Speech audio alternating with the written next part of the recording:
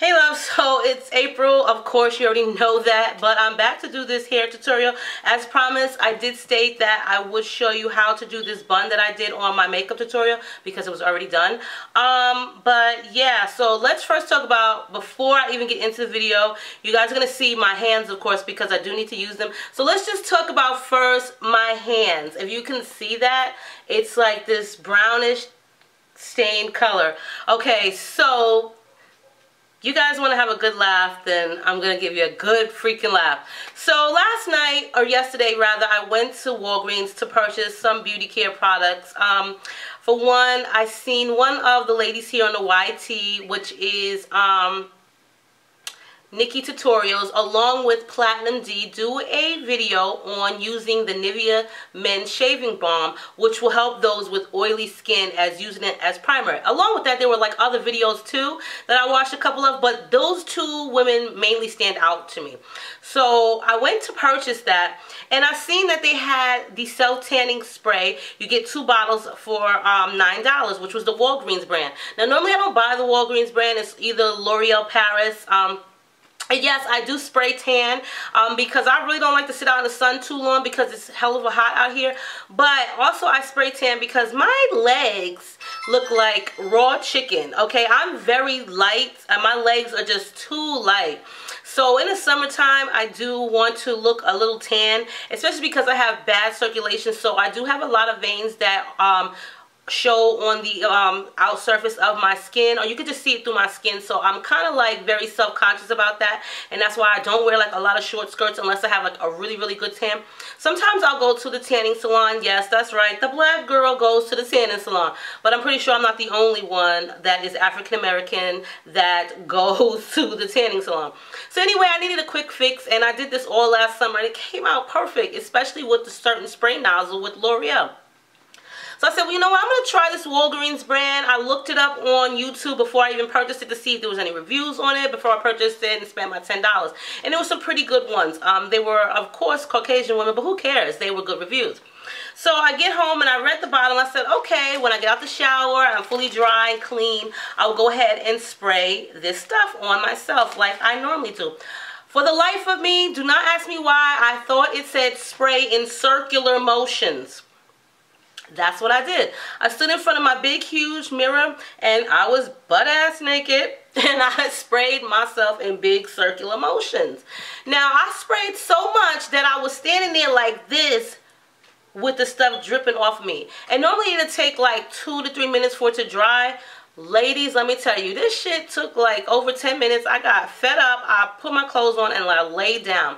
So when I woke up this morning, I knew that I had washed my hands, but I guess I did not wash them thoroughly. And when I woke up this morning, I had like streaks of freaking tan spray all on my legs. Amongst that, my hands. And I'm not really sure how the surface of my feet and bottom of my feet were sprayed but now I look like a tangerine I mean, like, the tan came out pretty okay, and you probably can't see it on camera, but it came out okay. But look, I do have parts that are really blotchy, so I am, like, so bummed that my hand looks like this. Um, I did call the tanning salon and asked them, do they self-tan or spray tan, and they informed me they did. And I let them know of my issue, too. So tonight after I get out the shower, I will be scrubbing down with some lemon juice and baking soda, making it into a paste and getting this crap off of me. And then I'll go to the tanning salon.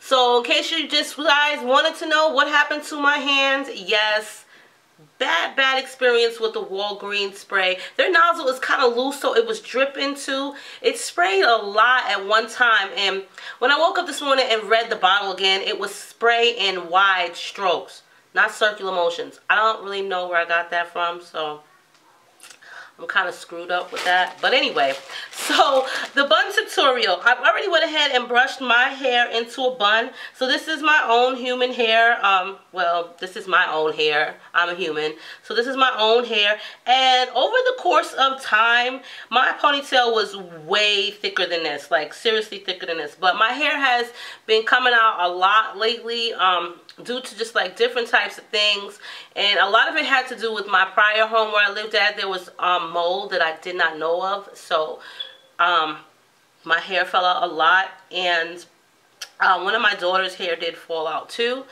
Um, which was Mumsy. So yeah, her hair grew back so nicely, but I'm not really sure. I think mine's didn't grow back as nicely because it's always hidden. So I've been trying to just like let it breathe. So it is awful thin and I don't like to wear it out. So anyway, the ponytail bun, normally I do my ponytails with two full, two and a half full tracks of weave, weaving hair. And I did a video on that a long time ago and I actually still have it if you guys want to see it. I still have it on my external hard drive and um, I'll be more than happy to upload that for you guys if you want to see how to do it with the weaving hair.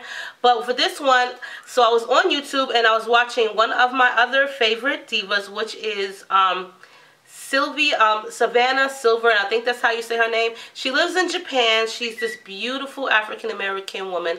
Oh my God, I love her videos because her editing is like off the chain. And she's just so pretty. Her makeup tutorials are bomb ass. So if you've never watched her, then make sure you do. So she did this look in a video. Um, it was just a bun tutorial and I loved it so much that I decided to do it. But hers was a little bit different being the way that she wrapped it around. I tried that method, but it really didn't work out for me so I found something that was more suitable to my needs. So the bun that I actually had on um, in the makeup video was just one pack of Kanekalon hair you know extension hair. Like so. And I just took a scrunchy rubber band. I didn't cut the hair. It's just in its full length. And I just took the scrunchie and or the hair tie and wrapped it around put it underneath and kind of like looped it through so that way I could put it onto mine. But this one, I wanted to be a little thicker because it was kind of thin. So I'm going to make the ponytail thicker. So I went out and bought another pack of hair. It doesn't have to be really expensive, but I wouldn't suggest the really silky um, extension hair. The silky straight just doesn't wrap around properly. So I wouldn't suggest getting silky straight. So what I'm going to do with this pack right here is I'm going to go ahead and remove the rubber band at the bottom I'm not going to cut the hair because I want to twist it and I'm going to cut this rubber band here in the middle to remove that.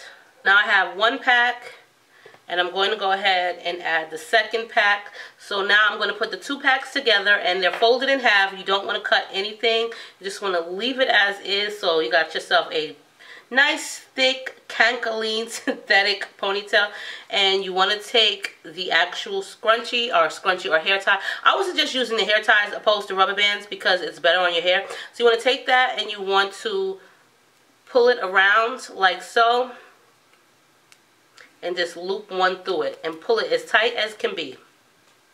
So that way you're going to wrap this portion around your own bun. And as for this, I'm going to take this here. I'm going to put a rubber band. You can put a rubber, regular rubber band. And I'm just going to go ahead and take this rubber band. And I'm going to wrap it here, right here. So we have a little scrunchy pull tie. And then we have this portion right here, which is all stuck together, held together by this rubber band. So this helps it not go all over the place and it also helps to set it. So what you want to do, you want to make sure that your hair is pulled up in a ponytail as high as you want it. It depends on your preference. If you want the I Dream of Jeannie bun, then go ahead. Um, but remember that it's super thick, so you don't want it sitting all the way right here. Then your bun will come like right here. So I have it in the middle and you see my hair is thin. So what I'm going to do is I'm going to take my hair and I'm going to braid it.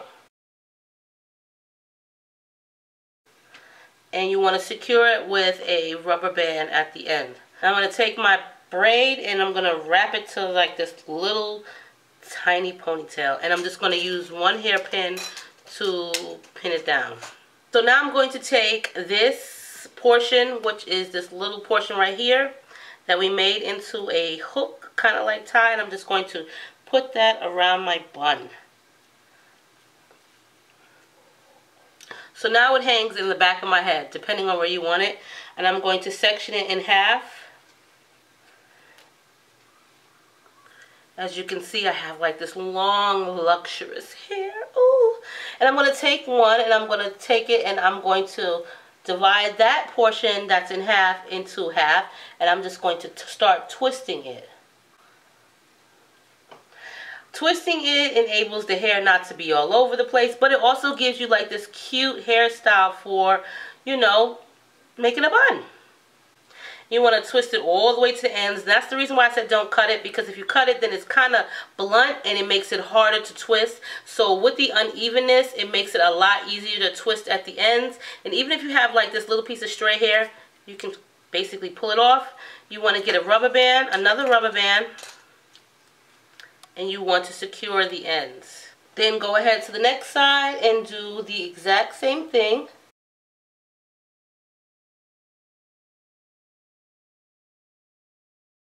Now in the back you do see like it's kind of like hanging, no big deal. No big deal. Make sure you got yourself some good bobby pins and you want to take one of them. It doesn't matter which one. You want to start, if it's this one, you want to start wrapping it around this way. Try not to have your twist too loose. You might have to kind of like twirl it like so.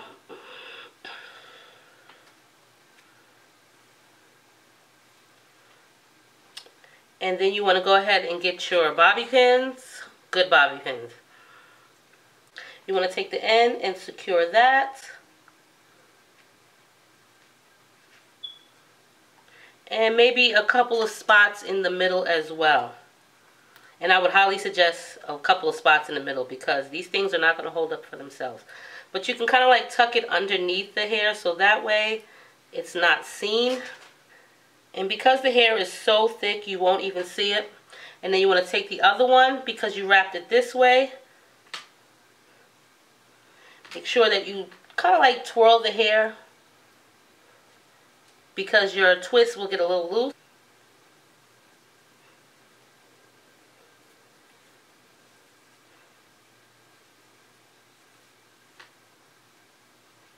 And you want to wrap this one the opposite direction.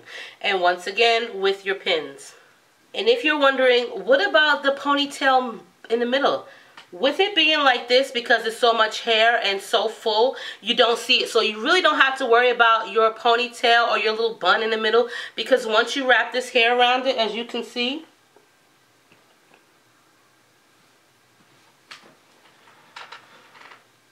you don't even see that ponytail in the or that little bun in the middle. And this is how I make my bun. So honestly I will leave this like this for like a few days. What I do is I'll put a stocking cap on it. And when I say a stocking cap it's not an entire stocking cap. So I'll use this stocking stocking cap. It's just a basic wig cap. And I cut the top of it and I go ahead and I will put it on. This is only a night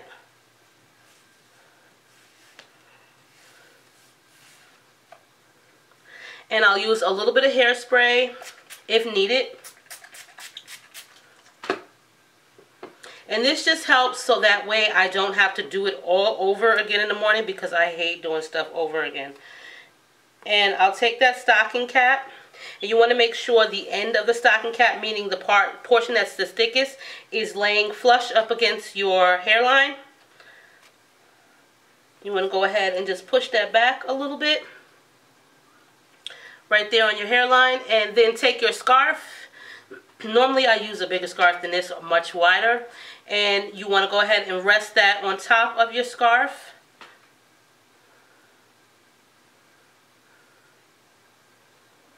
And the stocking cap actually helps your scarf from slipping back meaning slipping back onto your hair. So this also holds your hair down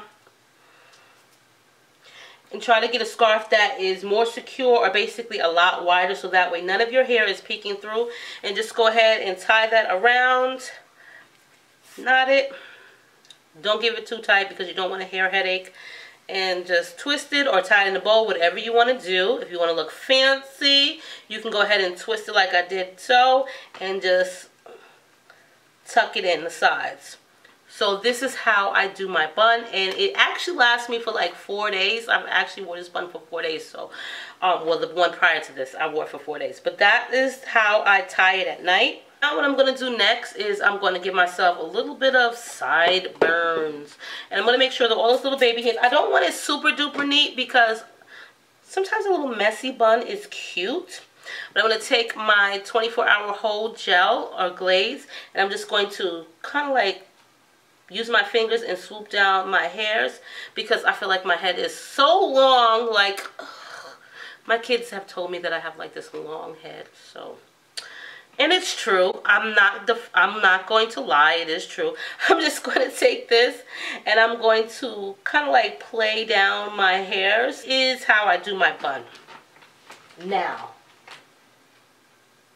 And like I said, you don't see that little hump in the middle. And if you feel really insecure, this will actually hold. But if you feel insecure, like if you feel like the bun is going to move, then I would suggest getting the actual hairpins, which are more open. These are the open hairpins like this. You can always take these if you feel like your bun is going to move or you don't you feel like the two sections that you've made are going to move. You can always take these. These are great.